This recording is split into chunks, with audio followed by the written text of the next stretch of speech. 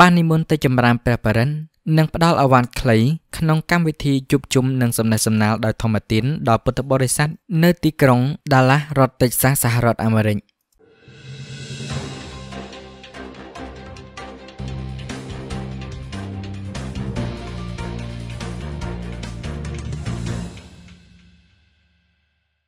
លោកអ្នកសប្បុរសជាទីមេត្រី នៅថ្ងៃច័ន្ទ13កើតខែចេសឆ្នាំឆ្លូវ ត្រីស័កពុទ្ធសករាជ2565ត្រូវនៅថ្ងៃទី24ខែឧសភា ឆ្នាំ2021ព្រះធម្មាលង្ការមុនីច័ន្ទសជននៅក្នុងថ្ងៃនេះ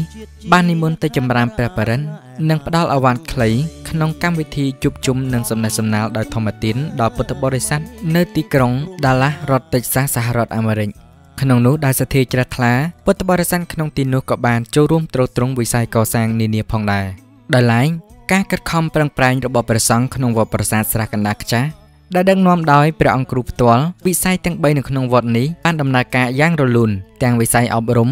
វិស័យផ្សព្វផ្សាយព្រះធម៌ហើយនាពេលថ្មីៗនេះបានកសាងចំណតរថយន្តដែលដំណើរការយ៉ាងរលូនជារៀងរាល់ថ្ងៃ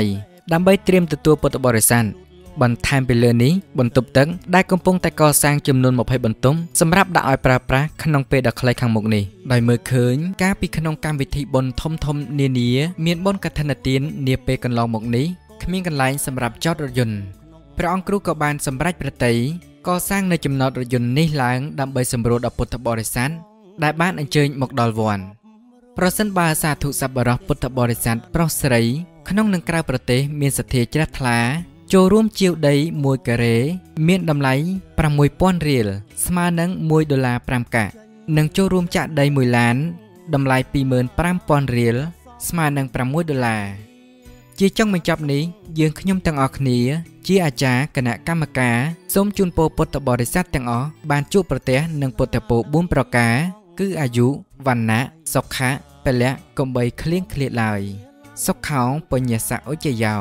ការសន្សំបុណ្យរមែងនាំមកនៅសេចក្តីសុខសូមអរព្រះគុណនិងសូមអរគុណ